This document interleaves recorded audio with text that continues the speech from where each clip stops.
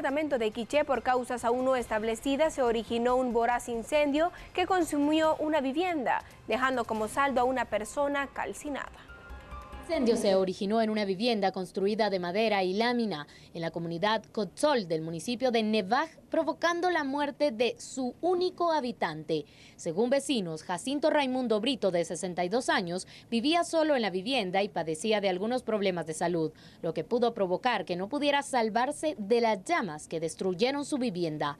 A pesar del intento de algunos vecinos por salvarlo, nada pudieron hacer. Bomberos no lograron llegar a tiempo debido al difícil acceso a la comunidad. Algunos pobladores comentaron que Raimundo Brito acostumbraba a hacer fuego dentro de la vivienda para cocinar sus alimentos. El Ministerio Público inició una investigación sobre este hecho.